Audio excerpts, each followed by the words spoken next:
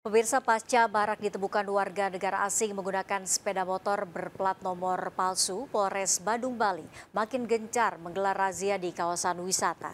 Jumlah WNA yang terjaring razia berkelit dari petugas dengan pura-pura tak bisa bahasa Inggris.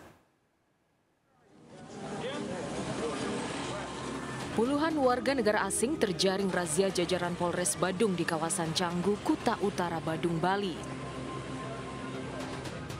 Pelanggaran yang dilakukan mulai dari tak mengenakan helm, tak memiliki surat-surat kendaraan hingga ugal-ugalan sambil berkendara tanpa mengenakan pakaian.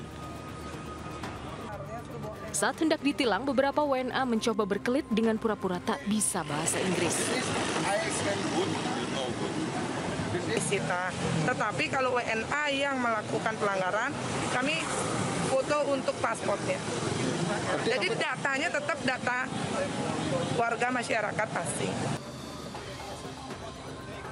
Selain sanksi tilang, Polres Badung mengamankan empat kendaraan WNA yang tidak memiliki kelengkapan surat. Dari Badung, Bali, Bagus Alit iNews melaporkan.